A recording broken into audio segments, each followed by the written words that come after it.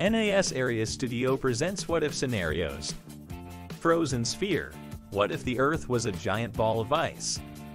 Welcome to Frozen Sphere, a world where ice and cold reign supreme and survival is a constant battle. But before we embark on this icy adventure, make sure to hit that subscribe button so you don't miss out on any of our future videos. Picture it, 4,000 years ago, the Earth's climate underwent a drastic shift. Average temperatures dropped and the ice caps began to expand, covering the entire planet. Scientists believe that a combination of factors contributed to this change, including rising levels of greenhouse gases, deforestation, and a decrease in solar activity. These factors led to a significant decrease in the planet's albedo, which resulted in the absorption of more solar radiation, causing a global cooling effect. The ice not only covered the land but also the oceans, freezing them solid. This led to the extinction of most marine life and the collapse of the oceanic food web.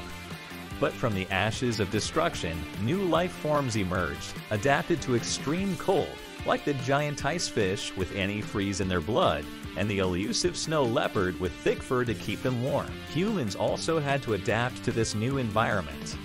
They built towering ice cities, connected by a network of underground tunnels, to escape the freezing temperatures and develop technologies to extract food and resources from the ice.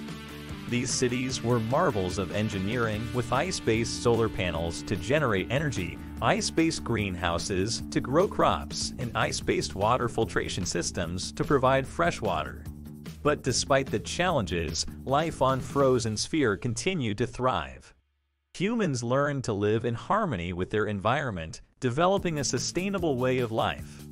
As we explore this frozen world, let's marvel at the towering ice structures and the unique ice flora that blanket the landscapes. Let's witness the survival tactics of the giant ice fish and the elusive snow leopard.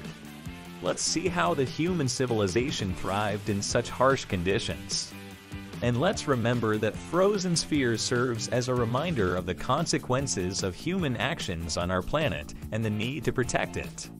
It also serves as a reminder of the resilience and adaptability of life and the human spirit. So hit that subscribe button and join us on our journey through the Frozen Sphere, a world where ice is king and adventure awaits. Thanks for watching.